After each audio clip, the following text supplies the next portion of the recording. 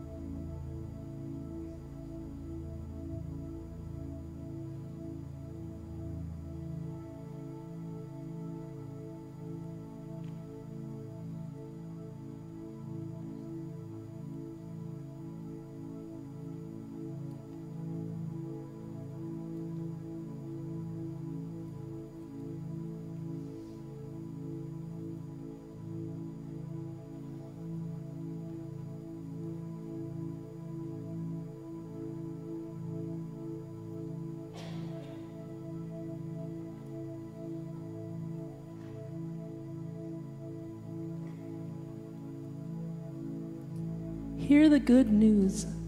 There is no condemnation for those who are in Christ Jesus.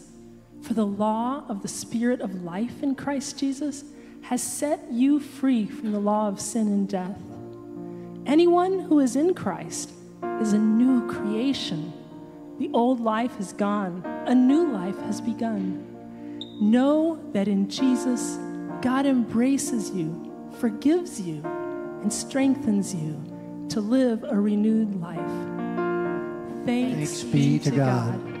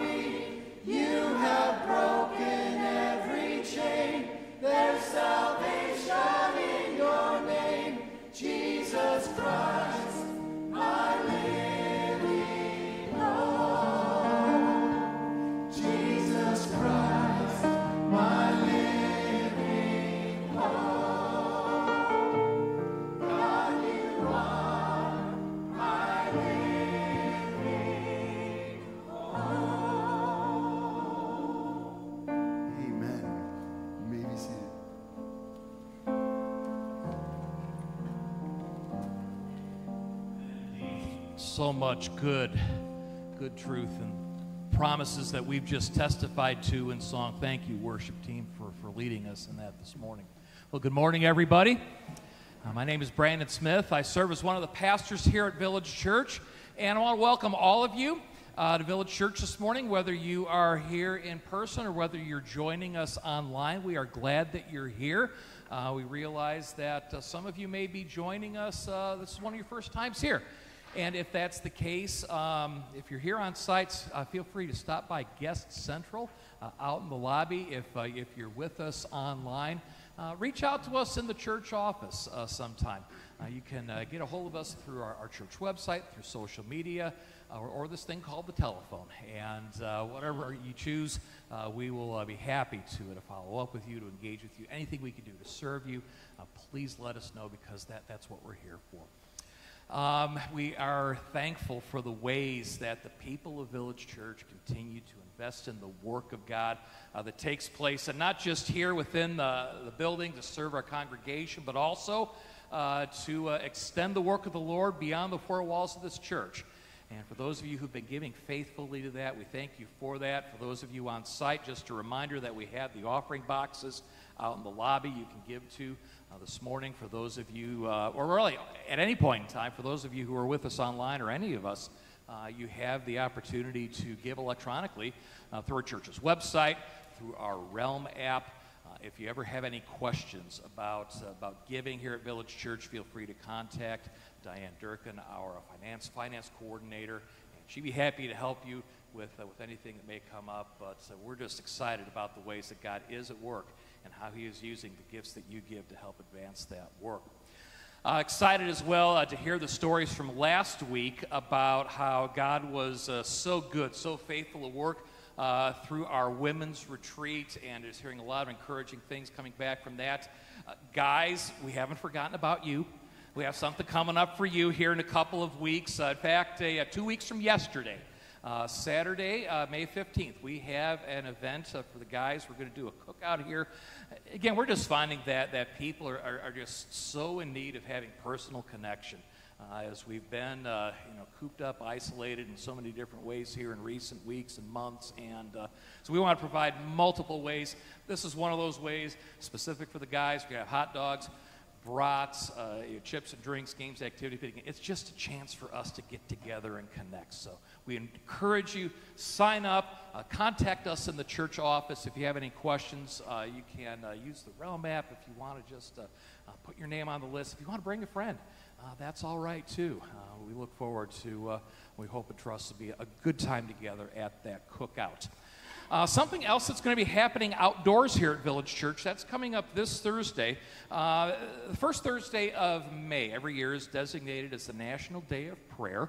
It's an opportunity for, uh, for God's people uh, throughout uh, the United States to, to humble themselves, to come before the Lord in prayer, ask God to move and work in, in, in people's lives throughout our country. Uh, we are going to uh, gather together as a church family uh, to do that on Thursday at 7 o'clock, except we are going to gather outside. Weather permitting, we're going to gather outside at our fire pit, which is out near the playground. Uh, we hope you can come and join us for that. And if uh, you want to participate in our uh, National Day Prayer Gathering, but you can't join us uh, on site in person, uh, we will have the opportunity to do this through Facebook uh, our, uh, we'll live stream it on Facebook. And uh, if you have questions, again, contact us in the church office. But we're looking forward to a time where we can lift up the needs of our, our nation and ask God to move and work in ways that will bring glory to His great name through that. A um, couple words of thanks we want to share with uh, the church family here. First of all, thank you to, first of all, those of you who were here yesterday uh, doing work with our campus uh, workday, our spring workday. Uh, lots of good work done outside, cleaning up, you know, fresh mulch, some things planted. Uh, we're thankful for those of you who, who gave you your time uh, yesterday, and we're thankful as well to those of you who continue to give so faithfully to our congregational care ministry. It's something that we do just like today. Uh, it's the first Sunday of every month, or the Sundays that we, uh, we celebrate the Lord's Supper. And uh, it's an above and beyond way for us to, uh, to give to God's work, uh, to bless those in need, uh, first and foremost in our church family. And I, I'm so pleased to be able to tell all of you this morning that uh, probably within the last month, even within the last couple of weeks, uh, probably more so than at any point in time this uh, school year, this ministry year, we have been playing offense. We have been, been reaching out, we've been engaging with people and finding ways to use the gifts that you have uh, given for this purpose uh, to bless those in need, uh, first and foremost in our church family. Uh, there's also a, a, small wedge of this congregational care fund that is a way for us as a congregation to care for people even outside the walls of Village Church, and we've been able to find ways to do that as well. But uh, we're just uh, excited about what God is doing and praying that He's going to keep it coming. And as you all continue to give so generously to this, uh, we're going to see, I believe, many, many more stories written. And uh, we uh, just pray that we would be found faithful uh, to be the best stewards possible of all what God has entrusted to us in this way and in many, many other ways.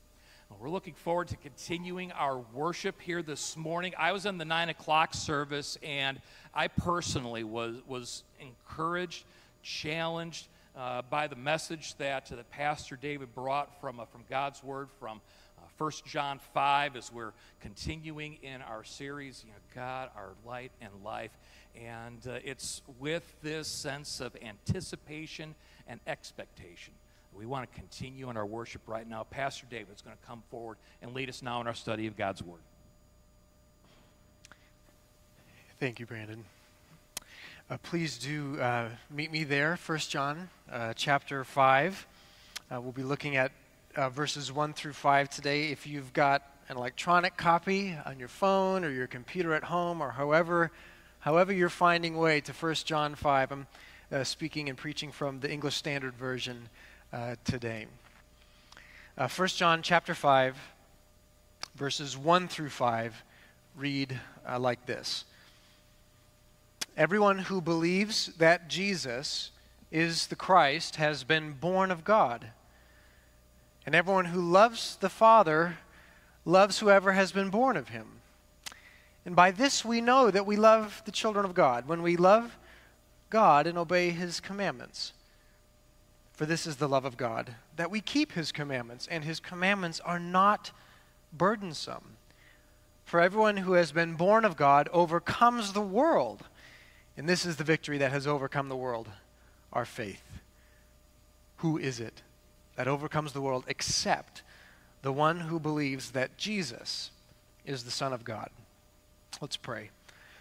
Father, we, we come before you with a heart of dependency and trust. We come before you, Lord, knowing that, Lord, every time your word is spoken, you do stuff. You shape our hearts, you, you encourage, you strengthen, you soften, you humble, you sanctify, you call, you create. Uh, so, Father, um, we ask that you would do just that. May the meditations of our hearts, the words of our mouth, be pleasing to you, we pray. Amen. Amen.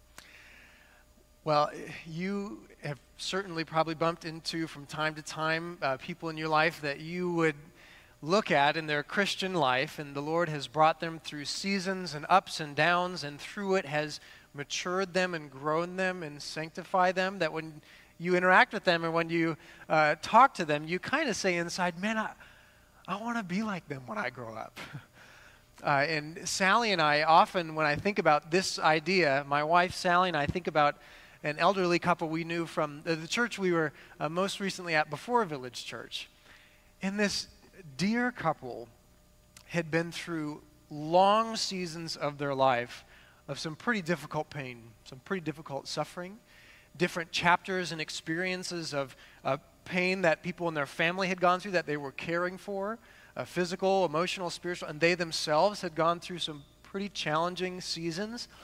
Uh, but when you meet them, when you talk to them, and you all perhaps have names and faces of other people that you think of when we think about this, there was a paradoxical kind of how do these two things fit together kind of idea that they simultaneously were kind and humble and gentle and meek and, and soft and tender.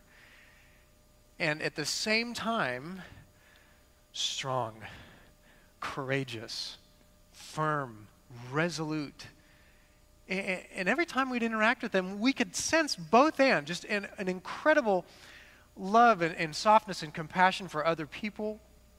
Whenever they interacted with people, you, you got the sense they were, they were handling like a delicate piece of china. So gracious, so compassionate, yet at the same time, you knew at their heart of hearts existed a lion of courage and strength and resolute confidence and power. And I, when I think about them, when Sally and I think about them, we think, I want to be like that when I grow up. Don't you? 1 John 5 shows us how. How do we, how do we become someone like that? A, a person in their walk with Christ that's both humble and strong, both soft yet firm, both gentle yet confident in Christ. And 1 John 5 uh, opens and shows us that it is grace. How do we become like that? It's grace. It's grace in our hearts that softens us both to God and to each other at the same time. Grace, by its nature, it softens us, it melts us, it tenderizes a hard heart toward God and a hard heart toward others. And it shapes that and frees us up to do just that to God and others. Look at, look at just verse 1. 1 John 5, verse 1. It says that everyone who believes that Jesus is the Christ, Jesus is the Messiah, has been born of God. And everyone who loves the Father loves whoever has been born of him. And here we see in 1 John 5 1, as, and as we see elsewhere in Scripture, and in, certainly in the Gospel of John, one of the primary metaphors of salvation itself, of our relationship with God itself, is that of birth, new birth, rebirth, that we are regenerated and born into God's family. And that metaphor, that idea is just oozing and dripping with grace. Think about that metaphor. Uh, which ones of us chose which time we were going to be born into in history? Which ones of us chose which family we would be born into in this life?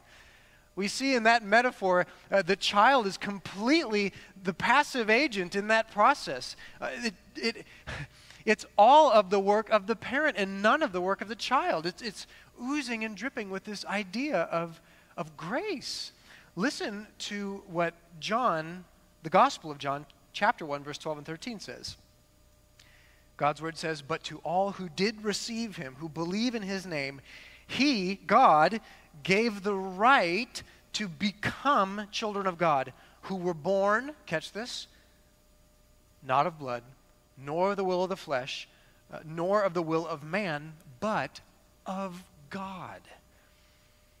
Spiritual birth into God's family is all of his work. It is God who does the regenerative work in our hearts by the Spirit. We got to respond to it by faith.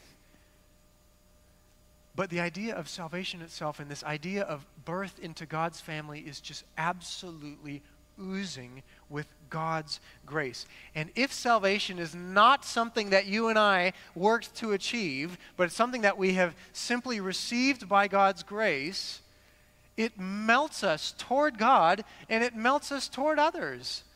Friends, if salvation was that we supplied God our spiritual resume, with all the good things that we've done and things that we've said and thoughts that we've thought and devotion that we've uh, given to God. If salvation was we present our spiritual resume and God picks, you know, the top applicants, that means then if we earned our position to God, we are entitled to him and he is obligated to us. Do you see that? Which ones of us um, in your company, in your work, uh, when payday rolls around, when the paycheck comes through, how do you and your fellow employees react? Do you look at your paycheck and burst into tears and joy and wonder? And did you get one too? Me too. Isn't this? A, are you just bursting with joy and delight? No. You know how we act? Should be a little bit more. And should be a little bit more frequent, right? Because we're working to achieve it. And we say, well, listen, hey, I got the credentials, I got the training, look at how much work I'm doing, and this is it. Compare that. I, I, forget the name of the TV show. Do you remember that TV show where they'd bring the big, you know, cardboard check with the balloons and they show up to someone's house randomly and they knock on the door and they say, hey, you have won. This is a gift. This is all for you. Do you know how they respond? Tears and joy, and they're calling up everyone and they're blown away and they're awestruck. Do you see the difference? One check you work to achieve, one check you receive by utter and sheer grace. And if we are welcomed into God's family by rebirth, by utter and sheer grace and love of God that we receive by faith, it softens our heart to God. We can no longer come to God and say, Look at all that I've done for you. Look at all that I've sacrificed. Look at the time. Look at the energy. Look at the tears and the blood and the sweat. You owe me. We can no longer come to God entitled. Nor can we come to God with an attempt to control Him with our good behavior, to control Him with our effort. We say, Hey, God, look at all that I put in for you. Hey, I need you to deliver on this or that request. We stand before Him utterly floored by the grace and the beauty of the idea that we have been born into God's family. And we see all, even before we had made that decision of faith, how God had been working to woo us into his family. We come melted before him. And if that is true, it also melts our hearts toward each other. And this is why that if we stand before God, uh, not as a way of kind of beating ourselves up, if we stand before God but we declare, I do not deserve you at all. I've done nothing to deserve you. I've done nothing to earn this. It is all of sheer grace. That means when we look to the left and to the right, dear brothers and sisters, you know what that also means? You didn't deserve him either. and that's not a way of, of beating up on each other, but it's a way, a reminder that we have all, all of us, have entered this family of faith, this church community. Those who are in Christ, you have entered in by sheer and utter faith. And that melts our heart towards each other. Because again, if this was a spiritual application that God only picks the top applicants, that means you and I are spiritual competitors competing for a position in God's family. But that's not the case at all, is it? We're companions, fellow recipients of grace and mercy and kindness that when we come before God and we look to our left and to our right and we behold the family of God, we're melted. You too? He, you also born into his family? You've received his grace as well? And it melts our hearts towards others. It frees us with the capacity to interact with each other as friends, as family, as fellow loved ones, loved by God. And this love that God has, it, it kills amongst the Christian community any idea of either superiority or inferiority. The very idea of a superior or inferior Christian amongst the community of faith makes no sense whatsoever. It doesn't fit, it doesn't work. And when those ideas creep into our heart, either entitlement to God, control over God, or superior or inferiority amongst each other, grace flattens it. Grace kills it. Grace destroys it. Because, as others have said many times, the, the ground at the foot of the cross is flat. We're all fellow recipients of His grace and kindness towards us, which that grace frees us, frees us to love God and to love others. It produces the result that verse 2 and 3 shows. When it says in verse 2, 1 John 5, by this we know that we love the children of God. When it says the word this is pointing backward to the first verse. Everyone who believes that Jesus is the Christ has been born of him. Everyone who loves the Father loves whoever has been born of him. By this, this new birth, we know that we love the children of God, when we love God and obey his commandments. For this is the love. Uh, uh, uh, for this is the love of God, that we keep his commandments, and his commandments are not burdensome. And here we see uh, once again this idea that a love of God and a love of others uh, mutually authenticate each other, they mutually inform each other, they're inseparable from each other. And all throughout 1 John, the letter of 1 John is um, spirals, not in redundancy, but in depth. We've seen this concept over and over throughout this letter of 1 John. If we love God, we must love others. And because of his grace, this passage shows us, we are free to love God and others. And this idea just continues in 1 John to, to steep and to age well. That we see the depth of the implications of how this sense of a love of God and love others authenticate and inform each other and encourage one another and drive the other deeper into the other. A love of God with which He has first loved us. And here's, here's an irony. You might have saw in verse 3 when it said, For this is the love of God. Ever wondered, how do I love God? Here it is. We keep His commandments. And His commandments are not burdensome. And to our hearts, that makes no sense whatsoever. you might have noticed in the call to worship, the passage, Come to me, all you are weary and heavy laden, I will give you rest. Remember how it, that passage continues? Take my yoke upon you and learn from me. I am gentle and humble in heart, and you will find rest. And we think, wait a second, Lord. If you're offering rest, why am I getting a yoke? That sounds hard. That sounds heavy. That sounds burdensome. How in the world do you say in the same breath that keeping God's commandments, His instruction, His teaching, His guidance for us in Scripture, keeping His commandments is not burdensome. And ironically, when we keep God's commandments, we are most free. We, we flourish most. It's the opposite of what we would expect. Now, grace absolutely frees us from a lot of stuff. It frees us from death.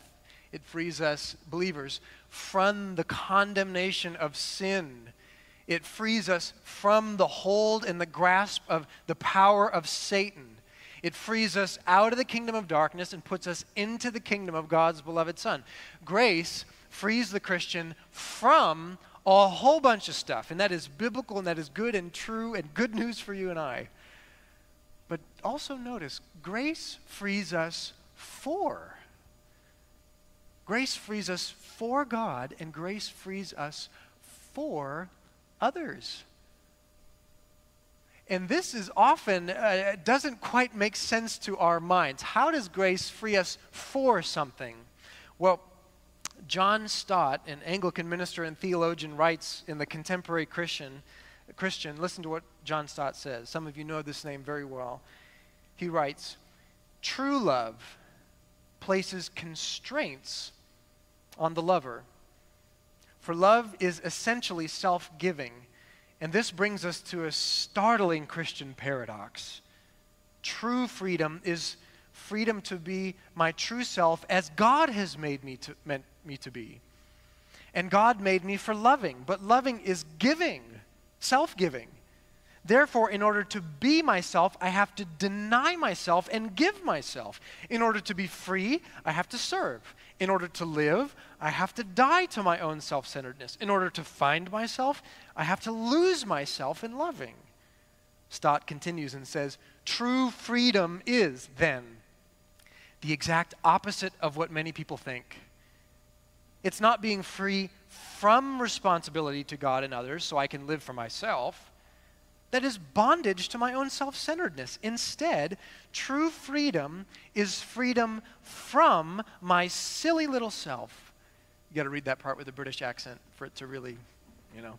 True freedom is freedom from my silly little self so I can live responsibly in love for God and others.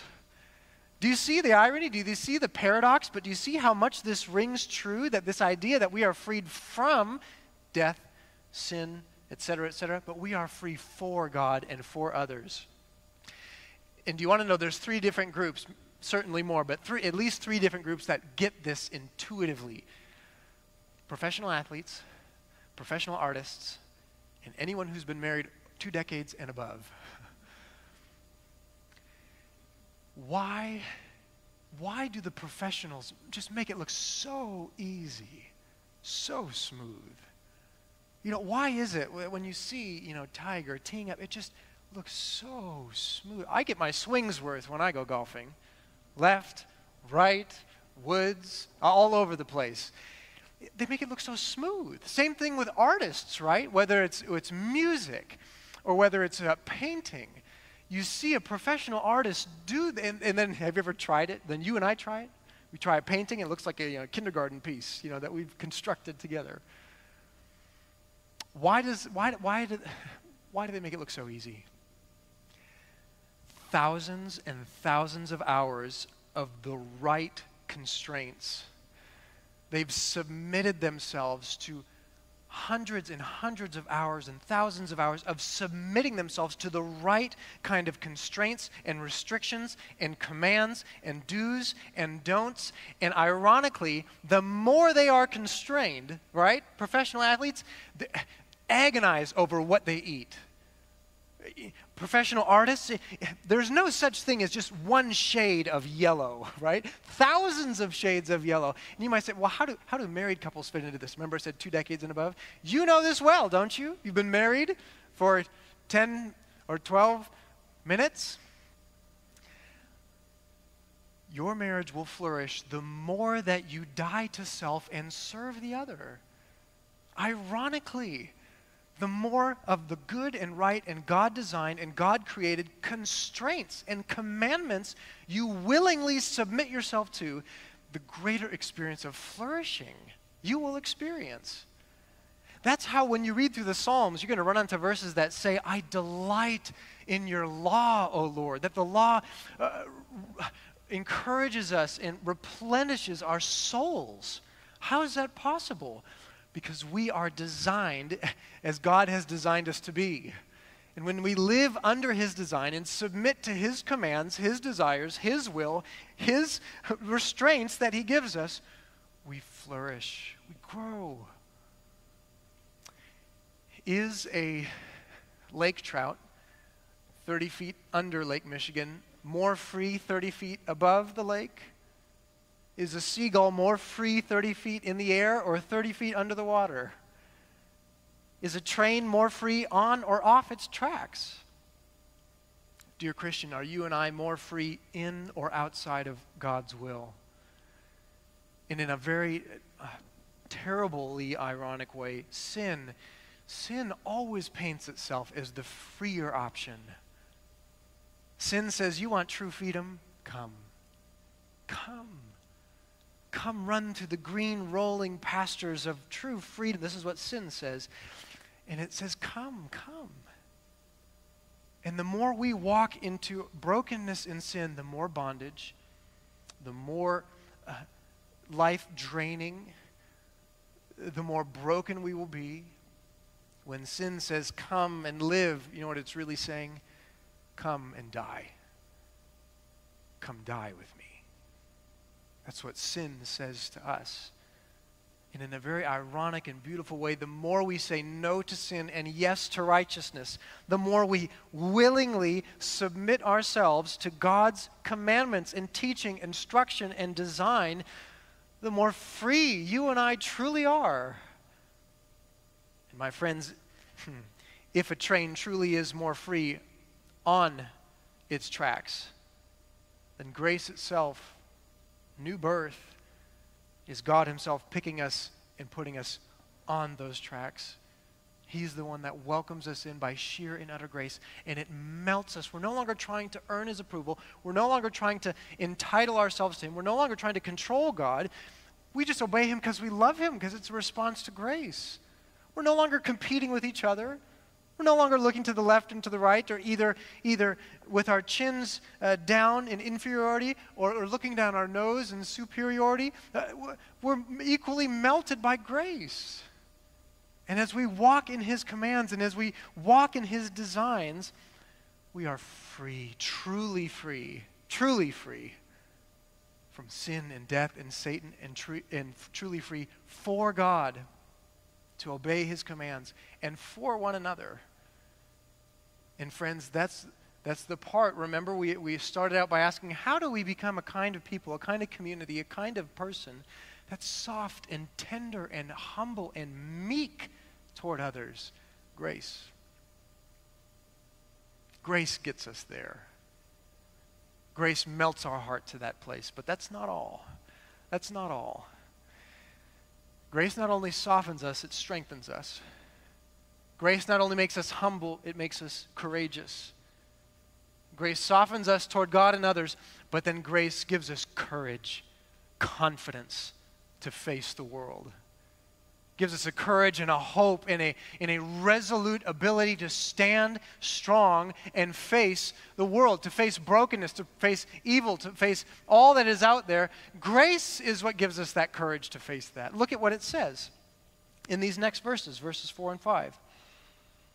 For everyone who has been born of God overcomes the world. And this is the victory that has overcome the world our faith. Verse 5 who is it that overcomes the world except the one who believes that Jesus is the Son of God? And catch this three times in these two verses, the word overcome comes up. Once, this idea of victory.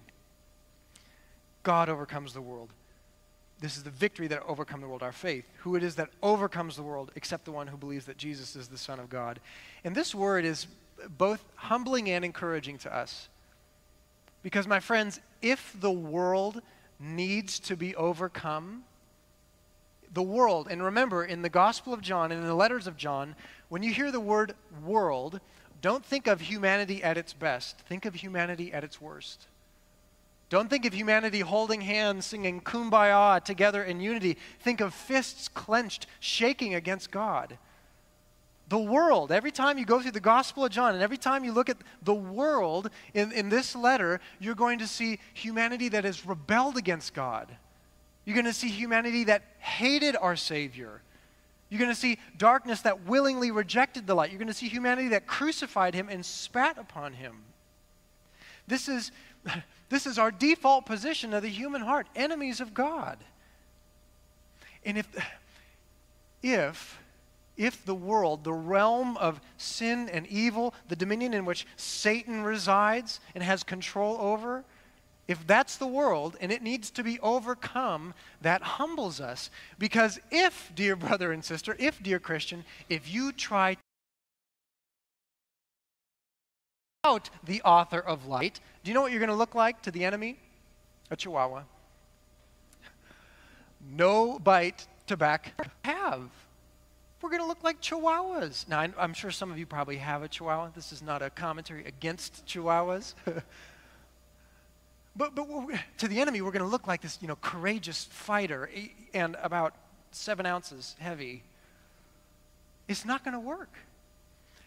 And it makes us, it humbles us, right? It, it, it, it, it evaporates any kind of naivete of the brokenness of our world and the sober, humbling effect that we need someone to overcome a, a, spiritual force that's too strong for us, too strong for you, too strong for me. We need a Savior. Yet at the same time, don't miss this, yet at the same time, if we have the author of light at our side, if we have the King of Kings, if we have the Lord of Lords, the God of heaven's armies, and we don't storm the gates of hell, but we, we sit back in fear, then do you know what we're going to look like? Turtles and Eeyore with kind of our head back in our shell. Oh, don't send me in. Kind of discouraged Eeyore version of Christian. God will have the victory. Are you? I don't know. Are you sure? Maybe not. But he says the gates of hell won't prevail. Well, we better check. Maybe his grace ran out. Do you see how foolish that looks as well? Dear Christian, if God is for you, who can be against you? If the God of the universe who speaks and stars come into existence, if the God of the universe that tells the ocean, this is your boundary and no further, this is where water will stop and land will start. If the God of the universe who sets planets in orbit, who regenerated you and me, The God of the universe who is all powerful, almighty, infinitely wise, infinitely gracious, infinitely good. If he is by your side, dear Christian, why cower in fear? Why discouraged? Why, when you look out in the brokenness in the world, do we forget that, yes, there will be battles, won and lost for good and evil, but do not forget the end result. He has won. And it's only a matter of time until he returns again. Why discouraged? Why have you lost heart? Why cower in fear? As we stand fellow Christian soldiers in a spiritual battle with the God of the universe himself as our commander, that when he says charge, you have a confidence that's bigger than yourself. You have a confidence in the God who is with you. You have a confidence that he will never leave you or forsake you. And that his power becomes yours by faith in him. Do you see how beautiful this is? We have a hope not because you and I are so strong, but because He is so strong. And He's with us. And if the world has to be overcome, it sobers us, it humbles us. This is a real war. We can't be naive. Yet at the same time, if He has overcome the world, never lose heart. Never lose your cool. Never lose confidence. Because you have been faith born into Jesus who has already won the victory. That's what it means when it says, and this is the victory that has overcome the world our faith. The idea isn't that we're so sincere that God finally sees our sincerity and we have victory. The idea is we've put our faith in Christ who has had victory, and his victory becomes your victory. Listen to what it says. Uh, John chapter 16, verse 33. Jesus says, In this world you will have tribulation, but take heart. I have overcome the world. And, dear Christian, by faith, you are in the Savior. You're in the Lord who has had ultimate victory over the forces of darkness. And that, my friend, is reason for confidence. That, my friend, is reason for courage. It both sobers us, sobers us up so we're not naive, and it strengthens us profoundly to face all that the world may bring one of the things that um, Sally and I reflected on, uh, many of you know very well, it wasn't that long ago that I was candidating for the position to which now I uh, fill. And as Sally and I were getting to know Village's story and, and getting to know more about Village Church, one of the things we loved and continue to love is that Village Church is a multi generational church. I love that. There's something good and beautiful and right about, about little ones zooming around, bumping into your knees and about those who have walked with the Lord and walked through life for decades and decades and decades. And dear multi generational family, we help each other, we encourage each other, we sharpen each other, we remind each other of truth, and we grow and we are better for it. And those of you, and I'm, I'm going to let you decide what category you fall in, uh, those of you who would land amongst the older generations, just by the nature of how many years you have lived, you've had more time to observe spiritual decay in the world firsthand. You've had more time to see how pervasive sin can be, how destructive sin can be, how destructive evil can be. And there is a there is a possibility and a temptation the more that evil is before us, the more battles that you have seen won for the evil one, the greater possibility and the greater danger for either, either cynicism or, or defeatism or a lack of confidence. Because it's going to be harder and harder and harder to hear things like, God is victorious. He is one. We have victory in Him. And you say, I've seen a lot in my life. And I've seen many battles won for darkness. It can be easy to get sucked into this uh, the idea of that has, has darkness really won? Will God truly have the victory? It can be easy to get sucked into that. Those of you who are amongst the younger generations, again, notice how I'm letting you categorize yourself. There's a danger there as well.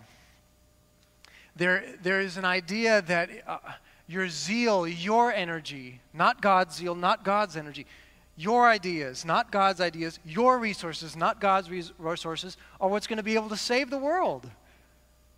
And, and, and, if we're not careful, there can be a naivete that creeps into that. Let's storm the gates, which can be a challenge for some younger generations. The older generations, well, we've been trying it for decades. Go ahead, see how easy it is.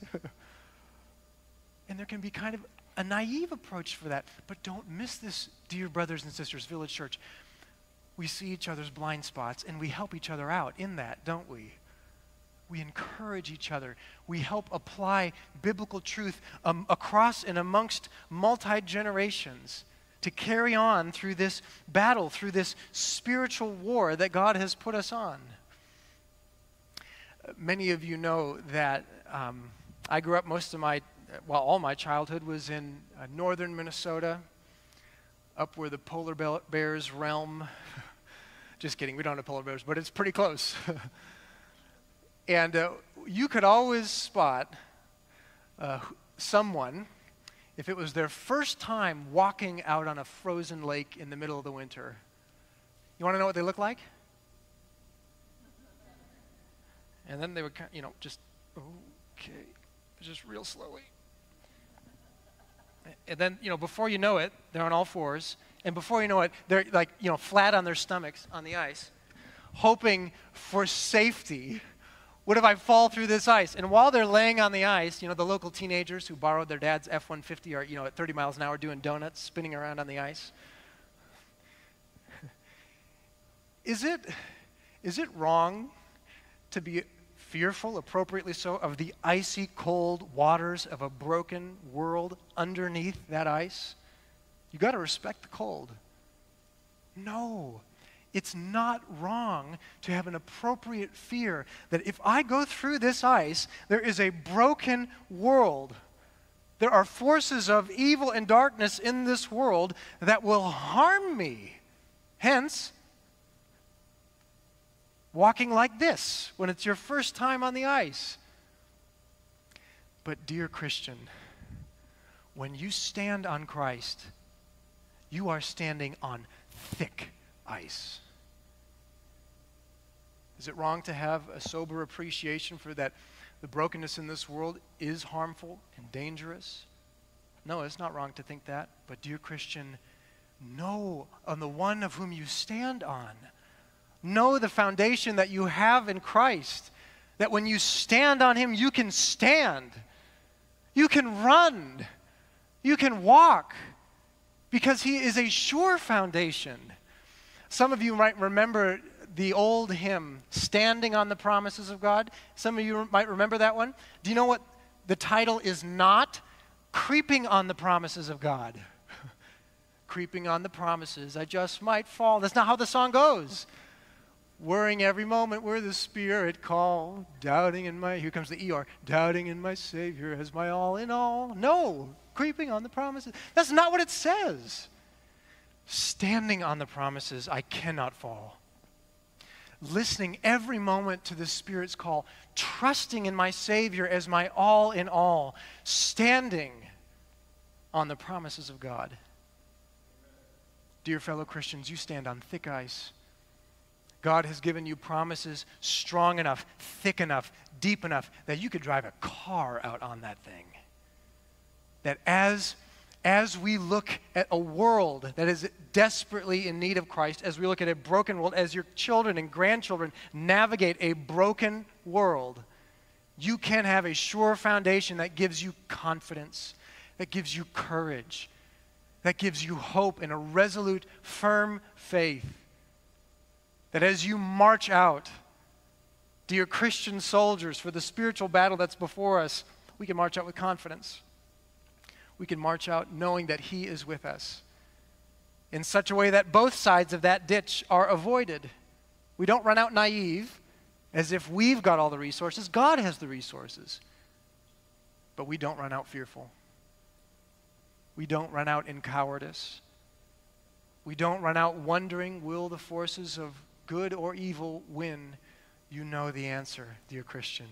Remember it. And that's what produces in our heart this paradoxical sense meekness, kindness, gentleness, humility, patience, mercy, grace, and confidence, courage, a fearlessness, a lion of a heart that is not produced because you and I are so courageous or strong, but because He is so good and so powerful. Grace, my friends, grace melts our heart toward God and others. It frees us to love Him and love others. And it gives us courage to face the world. Let's pray. Father, we, we ask that you would remind us every single day that the battle is yours. And Father, I pray for all who can hear my voice, Lord, those who are discouraged and fearful, may you give them a sense of confidence and hope.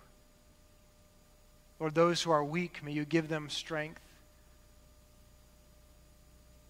Those Lord, that need a fresh reminder that this is a battle, would you graciously remind them of that? And over and over and over, Lord, as we go out into this world every single day, may we go out as a people that have been shaped by you, kind and strong, meek, yet with courage, that your strength might be evident through us. We pray this in your name. Amen.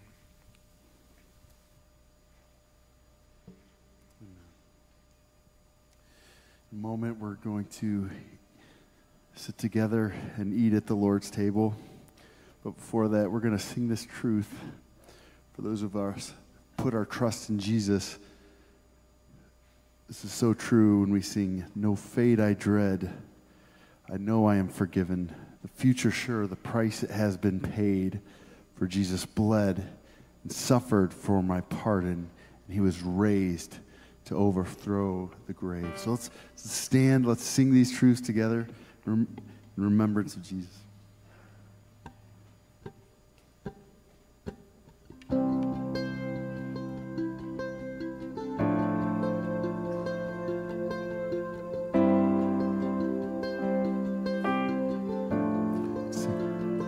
What gift of grace is Jesus my Redeemer? No more for heaven now to give. He is my joy, my righteousness and freedom, my steadfast love, my deep and boundless peace. To this I hold my hope is only Jesus, for my life is wholly bound to His. Oh, how strange and divine I can sing. All is mine, yet not I, but through Christ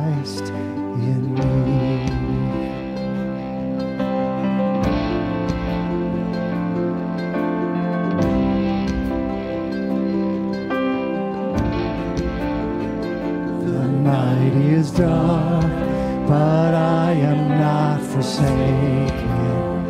For by my side the Savior he will stay. I labor on in weakness and rejoicing. For in my need his power is displayed.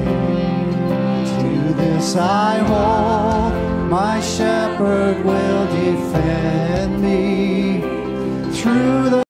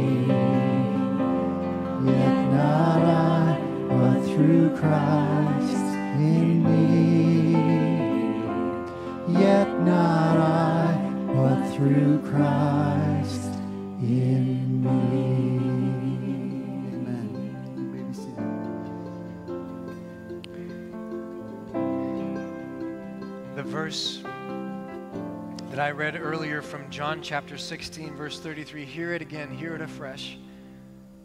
In the world you will have tribulation. You will. But take heart. I have overcome the world.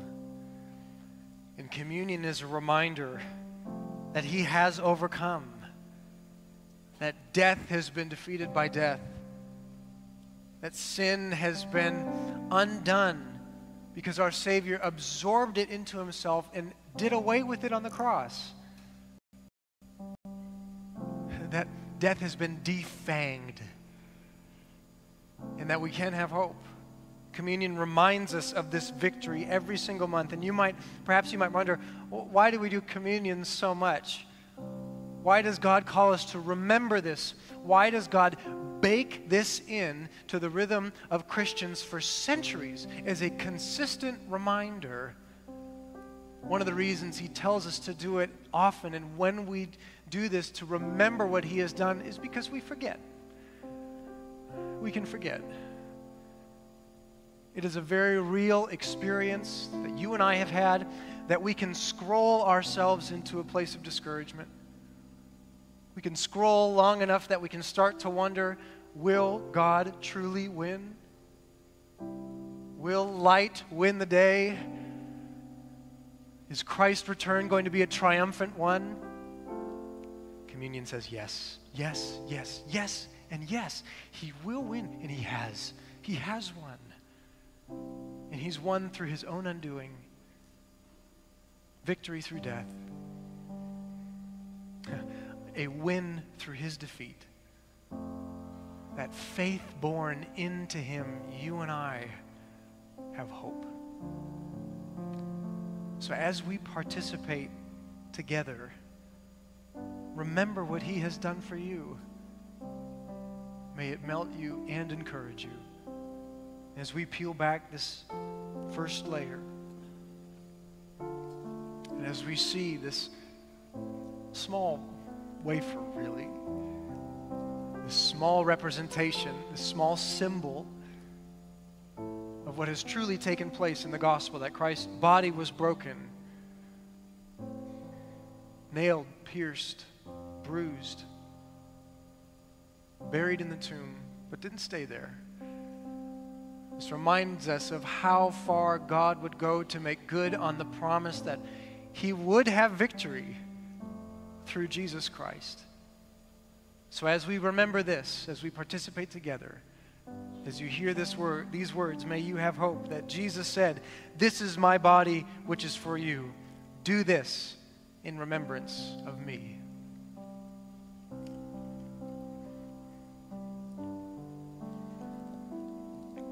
As we peel back this second layer, we see the cup, we see the drink, we see that which is representative and that which reminds us and points to the real and true thing of Jesus Christ, whose blood was shed for us. This guarantee of this new covenant. Remember those words again in light of what we heard of today in John. If he has overcome the world, do you want to know how far he would go to guarantee that? He would write the promise, he would write the covenant in his own blood. This cup is a new covenant, Jesus says, in my blood. That's certainty. That's confidence. That's thick ice, dear friends, that you and I walk on. And see how far he's gone to make good on that victory and to give you that courage and hope.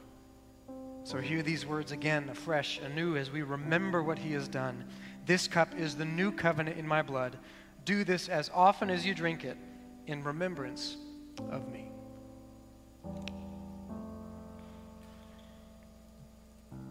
So, dear brother and sister in the faith, we ask as we sing now this song of response, would you stand? And would you stand with a sense of humility and hope, weakness and strength? softness and courage because of him. We're going to sing our story right now. Sing the story of how Jesus, how we were like sheep, had gone astray, and, and um, the Lord laid on him the iniquity of us all.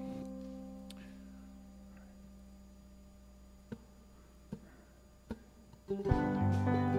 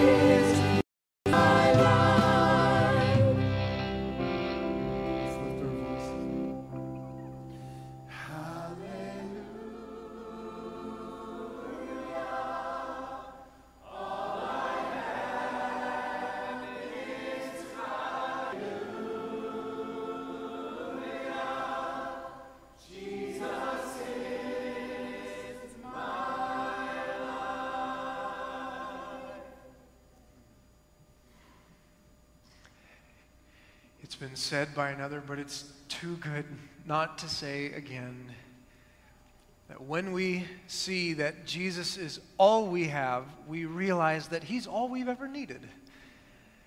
And we have this hope and confidence because of what He's done for us. And we want to encourage you, as, as is our custom, every single first Sunday of the month, we, we participate in communion uh, together, this reminder for each other. But we also collect our congregational care uh, for our congregational care fund.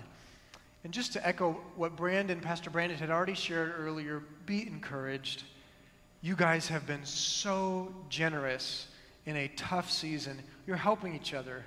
You're blessing each other. You're bearing each other's burdens. So we ha- please do pray about this. To whatever extent you can contribute to that, please do. And to whatever extent you have a need or someone that you know has a need, seek us out. Let us be a conduit of blessing from God through us to you, to those who have a need. And also, we encourage continue to pray with and for each other. Lean into one another, your families, your spouse, your small group, your ministries, to go through this season prayerfully and carefully with confidence in Him.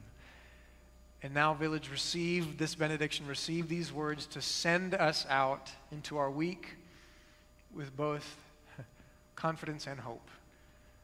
May to our, to our God who is merciful and strong, to our God who is compassionate and mighty, to our God who is love and just, who bears us up when we need help and strength, who extends mercy when we need forgiveness, and who will see us through till on that final day when there is no more pain, no more tears, no more crying, we will stand in glory with the saints who have gone before in all the heavenly realm singing hallelujah. To him be all glory and all praise. Amen. Amen. Please do turn, greet one another, say hello, and greet each other as you head out today.